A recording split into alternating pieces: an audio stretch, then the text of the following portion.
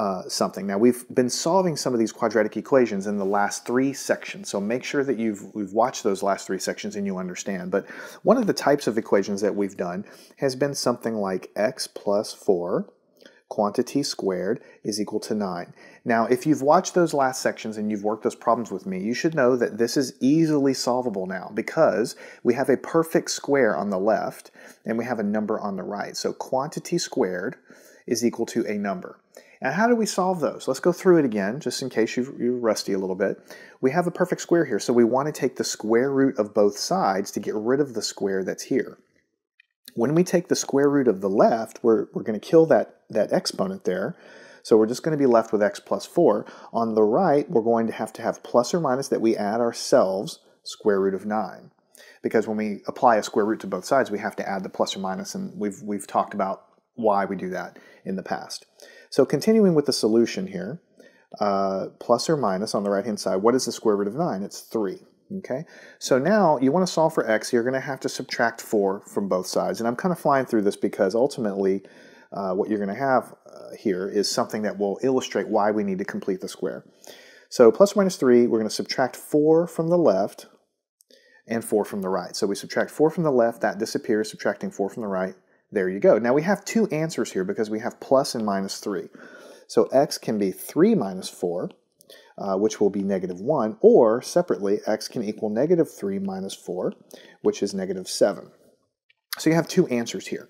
Now a couple things we want to talk about before we get into completing the square. First of all, this form here, where it's a perfect square on the left equal to a number on the right is really, really nice because it's always solvable, always. Now here we have a 9, so the square root is 3 and it's even nicer. But even if this were like 7 or 2 or some weird number here, fraction, you're still able to take the square root of the left and the square root of the right and you'll always get the answer. So having a perfect square on the left where all you have is a square term is really, really nice. And on the right hand side with a number there. So that's what you're always striving for because we can always solve it. So I want to kind of take this example in the back of your mind and we want to study this. Let's study this problem. So what we started out with on the left was x plus 4 squared. And in this problem, it was equal to 9, so we knew how to solve it. But for now, let's don't solve it. Let's expand the x plus 4, right? So if you remember, if you have a binomial squared, you can write it as x plus 4 times x plus 4 and do first inside, outside, last terms multiplied and multiplied out, but we can also just use the shortcut. So since it's a binomial squared, it's the first term squared, x squared, plus 2 times the first term times the second term. So it's 2 times x times 4 plus the last term squared, 4 squared. So ultimately, this is going to be x squared plus 8x plus what's 4 squared? It's 16.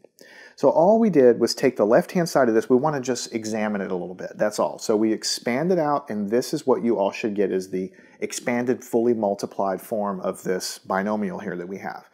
But notice something really interesting. Let's take a look at this middle term, this 8.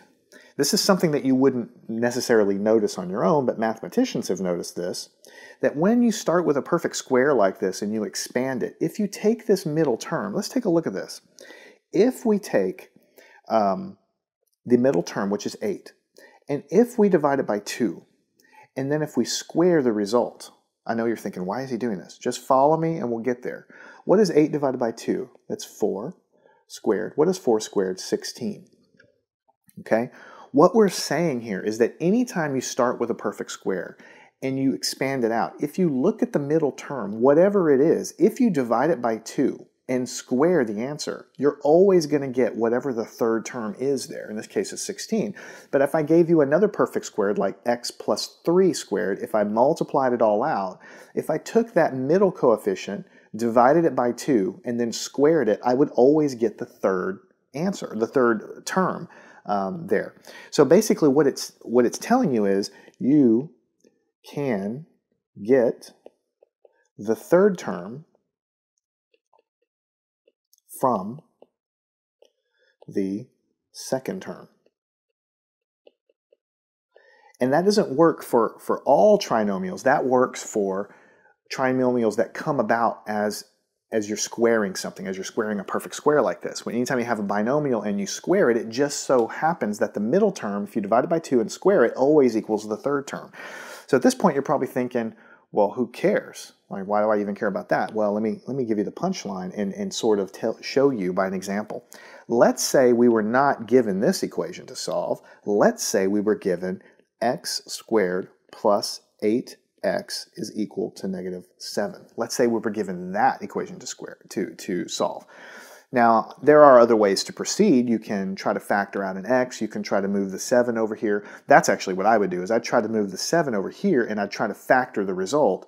Sometimes it might factor, sometimes it might not factor. Remember, when we were factoring trinomials, sometimes the factoring worked, where we could pick the numbers, and sometimes it just wouldn't work. So that's what you would typically do if I just, forget about this lesson, if I just gave you this, you'd try to move that over there and try to, try to factor it and solve it. But you may not be able to factor it. But let me blow your mind here. Here we have x squared plus 8x. So let's go ahead and take this middle term. Let's take that 8, let's divide it by 2, and let's square it. And as you already know from before, that's going to give you 4 squared, which is going to give you 16.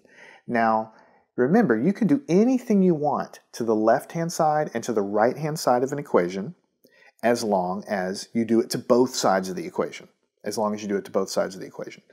So let's go ahead and start over here, and just so I can get a little more room, and just start over with what we, I'm going to kind of rewrite what we did here. x squared plus 8x equals negative 7. Let's say we were trying to solve this. I'm going to give you an alternative way. Let's take that middle term, let's divide it by 2 because we know that we can do that, square it, and that's going to give you 4 squared, 16. So, you know, I can add anything I want to the left-hand side of this equation as long as I add it to the right-hand side. It's still balanced. So let me add 16 because that's a special number. Let me add 16 to the left and 16 to the right. So what do I get? x squared plus 8x. I'm going to add 16 to the left, and I'm going to add 16 to the right. I've changed nothing. All right? But now notice what I've done. Forget about this on the right. On the left, I now have a factorable form that's always going to give me a perfect square. When I go back up here, remember that this guy came from the expansion of this. So I know if I factor this, I'm going to get a perfect square, and I already know that perfect squares in these quadratic problems are really easy to solve. So what I'm going to then do is rewrite this equation, x squared plus 8x plus 16 on the right-hand side. What is negative 7 plus 16? It's 9, all right? So now I'm going to try to factor this left-hand side, and I already know that it's going to factor, so let's put the x here and the x here. What times what gives me 16? Uh, 4 times 4 is 16, and I've got pluses everywhere, so I'm going to put a plus here and a plus here, and that's equal to 9. Notice that I have a x plus 4 times x plus 4, which I can write as x plus 4 squared equals 9. And I'm not going to go any farther down because we've already solved this problem, but this is solvable. All I need to do is take the square root of the left, take the square root of the right, and I can solve. I know how to solve this. Anytime I have a square on the left equal to a number on the right. But notice that I got it into this nice form from an equation that was not in a nice form. This is not a perfect square. If I move the 7 over here, that is not going to be a perfect square. It's not going to be easy to solve it um, by hand. There are other ways I'll show you later how you can solve these things. But as far as by hand and by factoring, it's not going to be easy given this ugly equation to begin with. So what you need to do is think about this concept of completing the square as a way to make these equations very easy to solve. So what you do is you take the middle term, the x term, you divide it by 2 and square it. That gives you a number. You take that number and add it to both sides of the equation, right? And then you're guaranteed to have a factorable perfect square on the left, which is easy, easy to solve. Okay, so here's the method of what we call completing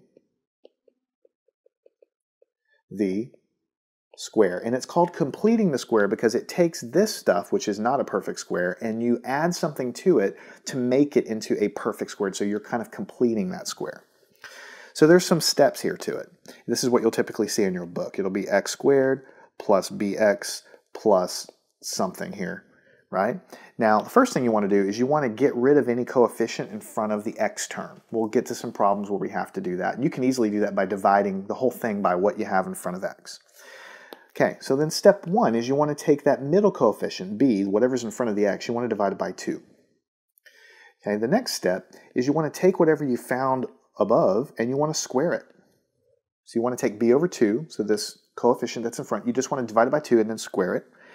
And then you want to add whatever you got there to both sides of the equation because you can add anything you want to both sides and then you factor and solve. So you're guaranteed to have a perfect squared on the left, a perfect square on the left when you do it this way. So what I want to do now is stop because we have, I've kind of given you a motivation and an overview for what it is, which is really the hardest part to understand. That's what you're trying to do though. And then we're going to go into the next lesson and we're going to solve a bunch of problems. You're going to see how easy it is to apply this. But instead of just blindly following a recipe, you're going to know what you're trying to do and what you're trying to achieve. So now you have a good overview of what completing the square is. Now in the next lesson, we're going to go ahead and solve a bunch of problems to give you practice with the method. And you will be following these steps, but you're not going to be blindly following them with no knowledge of why they're useful or what they're doing. You'll understand what you're doing so that, so that as you solve the problems, you're not just like a monkey just trying to do things. You understand what you're doing. So make sure you kind of understand this, watch this lesson a couple of times, and then follow me on to the next lesson, and you'll get that practice that you need in order to do well at completing the square learn anything at mathandscience.com.